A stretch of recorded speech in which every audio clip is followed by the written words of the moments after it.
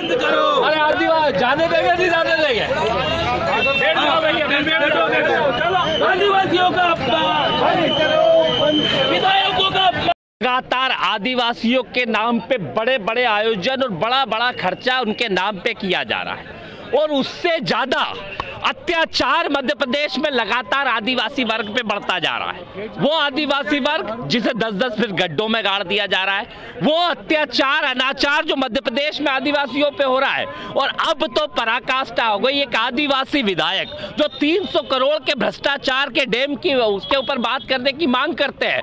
तो मुख्यमंत्री और उनकी पूरी टीम पुलिस प्रशासन के द्वारा गुंडागर्दी करने का काम करती है। और एक विधायक, जो खुद जानलेवा हमला करने का काम करता है। और आदिवासी विधायक के ऊपर, अत्याचार के ऊपर, जो सदन के मुखिया है, जब राष्ट्रपति आदिवासी बनी थी तो कहीं ना कहीं डांस करने का काम कर रहे थे, नृत्य करने का काम कर रहे थे कि आदिवासियों का, के साथ न्याय हुआ। और जब एक आदिवासी विधायक, जिसके मुखिया खुद स्वयं मुख्यमंत्री है, वो आदिवासी पर अत्याचार होता है सदन के अंदर, और जिस प्रकार से जानलेवा हमला होता है, उसके ऊपर दो शब्द इनके नहीं फूटते स्पष्ट है, आदिवासियों की विरोधी मानसिकता भारतीय जनता पार्टी की है, जो अत्याचार करती है, जो अनाचार करती है, जो आरक्षण को खत्म करना चाहती है और जो कहीं ना कहीं आदिवासियों के साथ शोषित जैसा व्यवहार करती है, इसके खिलाफ हमने यहाँ पे आज धरना दिया जब से भारतीय जनता पार्टी की सरकार प्रदेश और देश में आई है, तब से लगातार आदिवासियों के साथ अन्याय अत्याचार किया जा रहा है।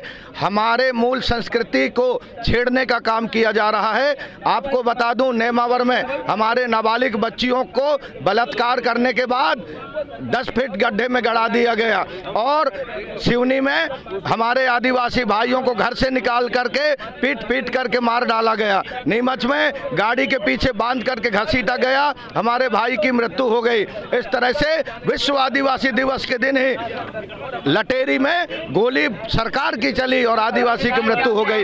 इस तरह से गंभीर परिस्थिति प्रदेश में आदिवासियों के साथ घट रही है। आदिवासियों बंद करो बंद करो आदिवासियों का अपमान बंद करो बंद करो अरे आदिवासियों पे आदिवासियों की शोषण करना बंद करो। आदिवासियों का सम्मान करना पड़ेगा। आदिवासियों की सम्मान कर बंद करो अरे आदिवासी जाने देंगे नहीं जाने देंगे। आदिवासियों का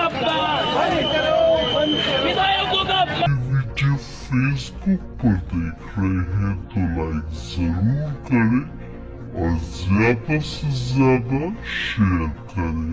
धन्यवाद।